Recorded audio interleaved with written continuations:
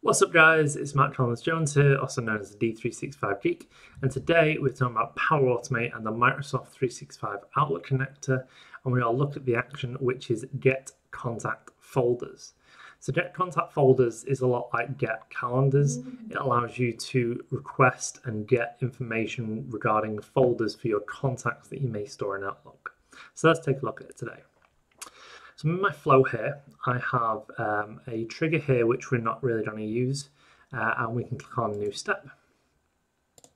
We can either search for the Microsoft or Office 365 connector, they keep changing the name on it, uh, or we can just expand this and we find this connector here, it says Office 365 for Outlook, may also say Microsoft 365, depends on the day of the week.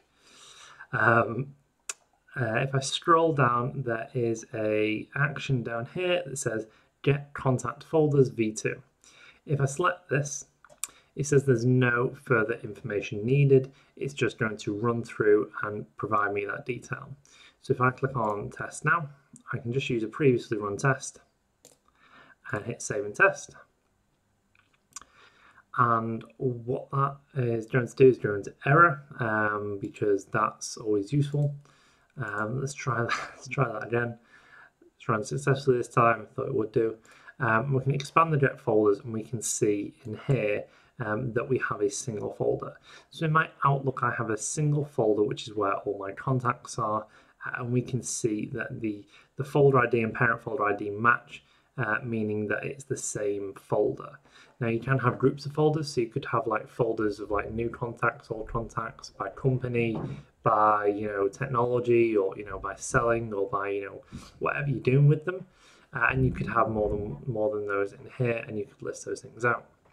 So what this does is just list the folder. So the folder is the thing that you need um, the thing that contains all the contacts.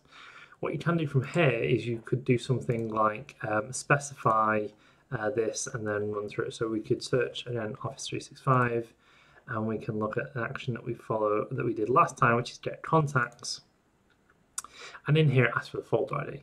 So the folder ID is actually the thing that we're going to get in this get action step here.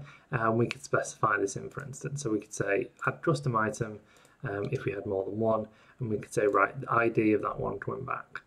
And again, we can see this could be one or more folders coming back. It might just be not might not just be the one that we had.